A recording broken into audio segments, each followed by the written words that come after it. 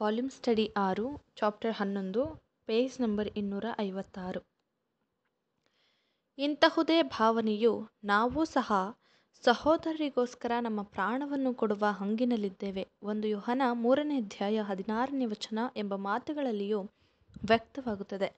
ಈ ರೀತಿಯಲ್ಲಿ ಅದೆಂಥ ಭ್ರಾತೃತ್ವವು ಧ್ವನಿತವಾಗುತ್ತದೆ.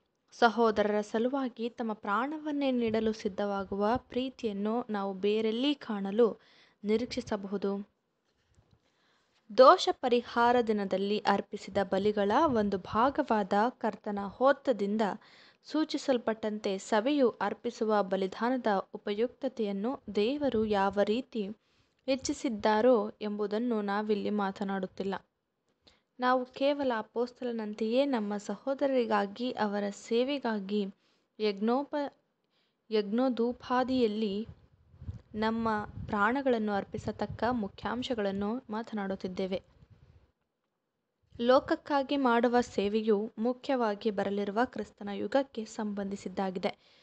ಪ್ರಸ್ತುತ ಸ್ಥಿತಿಯಲ್ಲಿ ನಮ್ಮ ಸಹಾಯ ಹಾಗೂ ಸಾಮರ್ಥ್ಯ, ಪ್ರಭಾವಗಳು ಮತ್ತು ಸಂಪಾದನೆಗಳು ಹೆಚ್ಚು ಕಡಿಮೆ ಇತರರಿಗೆ ಅಂದರೆ ಹೆಂಡತಿ, ಮಕ್ಕಳು, ವೃದ್ಧ ತಂದೆ ತಾಯಿಗಳು, ಮತ್ತಿತರ ಅವಲಂಬಿಗಳು ಇವರುಗಳಿಗೆ ಮುಡುಪಾಗಿ ಇಡಲಾಗಿದೆ. ಮತ್ತು ನಾವು ಅವಶ್ಯಕವಾದ ಪುಸ್ತಕಗಳು, ಸಭ್ಯವಾದದ್ದು, ಎಲ್ಲರ ದೃಷ್ಟಿಯಲ್ಲಿ ಪ್ರಾಮಾಣಿಕವಾದದ್ದು ಎಂಬ ಹಂಚಿಕೆಗಳಿಗೆ ನಮ್ಮನ್ನು ಬದ್ಧರನ್ನಾಗಿ ಮಾಡಿಕೊಂಡಿದ್ದೇವೆ. ಹೀಗಿರುವುದರಿಂದ ಇವೆಲ್ಲವುಗಳು ಇವೆಲ್ಲವುಗಳನ್ನು ದೃಷ್ಟಿಯಲ್ಲಿಟ್ಟು ವಿವೇಚಿಸಿ ನೋಡುವುದಾದರೆ ಸಹೋದರರ ಸೇವೆಯಲ್ಲಿ ವ್ಯಯಿಸಲು ಹಾಗೂ ಇನ್ನುಳಿದಿದ್ದನ್ನು ನಮ್ಮ ದೋಷಾಣೆ, ದೋಷಣೆಗಾಗಿಯೂ ಬೇರ್ಪಡಿಸಿದ್ದಲ್ಲಿ ಅದು ಕೇವಲ ಅಲ್ಪವಾಗಿಯೇ ಕಾಣುತ್ತದೆ. ಮತ್ತು ಇದನ್ನು ನಾವು ಕರ್ತನಿಗೆಂದು ಪ್ರತ್ಯೇಕಿಸಿದ್ದರೂ ನಮ್ಮ ಶರೀರ, ಲೋಕ ಸೈತಾನನು ನಮ್ಮನ್ನು ದಾರಿ ತಪ್ಪಿಸಿ ನಾವು ಪ್ರತ್ಯೇಕಿಸಿರುವ ಪ್ರತ್ಯೇಕಿಸಿರುವಂಥದ್ದುಗಳನ್ನು ಕಳಿ, ಕಸಿದುಕೊಳ್ಳಲು ನಿರಂತರವಾಗಿ ಪ್ರಯತ್ನಿಸುತ್ತಾರೆ. ಕೆಡುಕೆ ಜಯ ಸಾಧಿಸುತ್ತಿರುವ ಈ ಯುಗದಲ್ಲಿ ಕರ್ತನು ಸಭೆಯನ್ನು ಆರಿಸಿಕೊಳ್ಳುತ್ತಿರುವ ಉದ್ದೇಶವೇನೆಂದರೆ, ನಮ್ಮನ್ನು ಸುತ್ತುವರೆದಿರುವ ಸನ್ನಿವೇಶಗಳ ನಡುವೆ ಕರ್ತನ ಮತ್ತು ಆತನ ಹಿಂಬಾಲಕರ ಕಡೆಗಿರಬೇಕಾದ ಪ್ರತಿಯೊಬ್ಬರ ಪ್ರೀತಿ ಹಾಗೂ ನಿಷ್ಠೆಗಳ ಪ್ರಮಾಣವನ್ನು ನಿರೂಪಿಸುವುದೇ ಆಗಿದೆ. ನಮ್ಮ ಪ್ರೀತಿಯು ಅಣ್ಣ ತಣ್ಣಗಿರುವುದಾದಲ್ಲಿ ಈ ಲೋಕದ ದೇಹದ ಮತ್ತು ಕೆಡುಕನ ಕೇಳಿಕೆಗಳು ನಮ್ಮ ಅತಿಯಾಗಿ ಕಂಡುಬರುತ್ತವೆ. ನಮಗೆ ಅತಿಯಾಗಿ ಕಂಡುಬರುತ್ತವೆ ಮತ್ತು ಅವುಗಳು ನಮ್ಮ ಸಹಾಯ, ನಮ್ಮ ಪ್ರಭಾವ ಮತ್ತು ಹಣವನ್ನು ಆಕರ್ಷಿಸುತ್ತವೆ.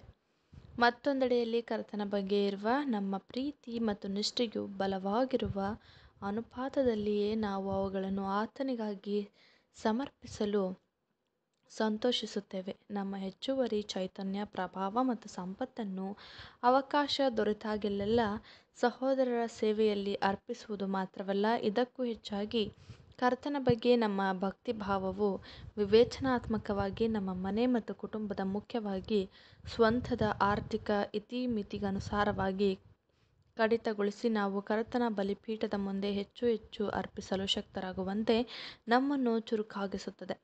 ನಮ್ಮ ಕರ್ತನು ಸುಮಾರು ಮೂರುವರೆ ವರ್ಷಗಳ ಕಾಲ ತನ್ನ ದೇಹವನ್ನು ಮುರಿಯುತ್ತಿದ್ದ, ಮುರಿಯುತ್ತಲಿದ್ದು, ತನ್ನ ರಕ್ತವನ್ನು ಚೆಲ್ಲಿ ತನ್ನ ಜೀವವನ್ನೇ ಸಮರ್ಪಿಸಿ ಈ ಯಜ್ಞವನ್ನು ಕಲ್ವಾರಿಯಲ್ಲಿ ನೆರವೇರಿಸಿದನು. ಅದರಂತೆ ನಾವು ಸಹ ನಮ್ಮನ್ನು ಸಹೋದರಿಗಳಿಗಾಗಿ ಸಣ್ಣ ಪುಟ್ಟ ಐಹಿಕ ಅಥವಾ ಆತ್ಮಿಕ ಸೇವಾ ಸಂಗತಿ ಇವೆರಡು, ಇವುಗಳೆರಡಲ್ಲಿಯೂ ಅರ್ಪಿಸಿಕೊಳ್ಳಬೇಕಾಗುತ್ತದೆ.